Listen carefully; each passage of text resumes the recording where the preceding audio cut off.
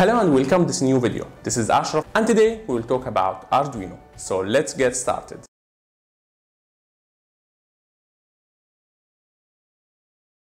The Arduino is an open source electronics platform based on an easy to use hardware and software used to build electronics projects. This board is a very popular board. All Arduino boards have one thing in common, which is a microcontroller.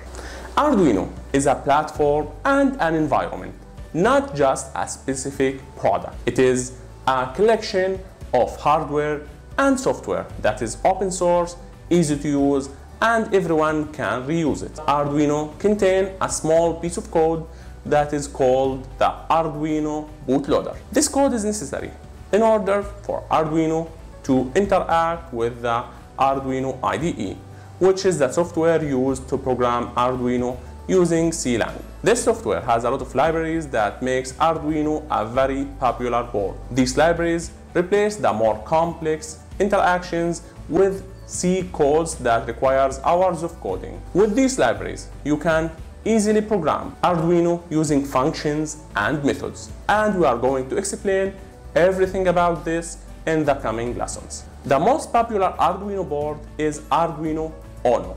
Now Arduino Uno is one of the boards that is most sell, sold by Arduino and we are going to use it in the coming lessons in the practical explanation. You can get your own Arduino Uno using the link in the description and we are waiting for you on our stores.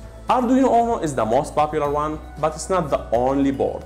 There are a heap of other options that you can select from.